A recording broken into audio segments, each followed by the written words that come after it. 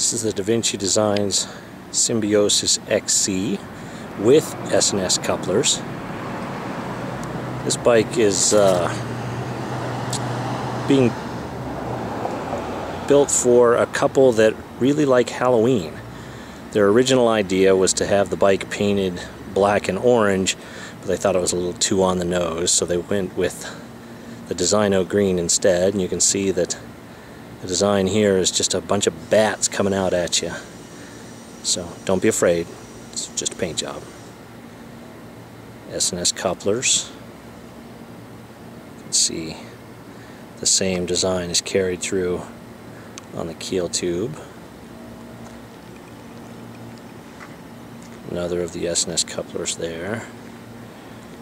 This one has the uh, White Brothers dual crown fork on it. Also has the Bontrager FR3 EXT tires.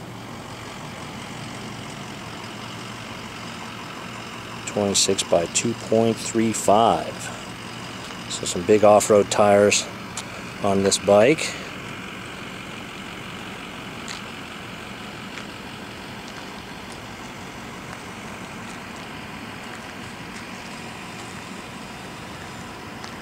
They're using the Cane Creek Thudbuster long travel seat post on the rear.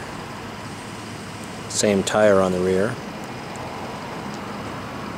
with the Avid BB7s front and rear.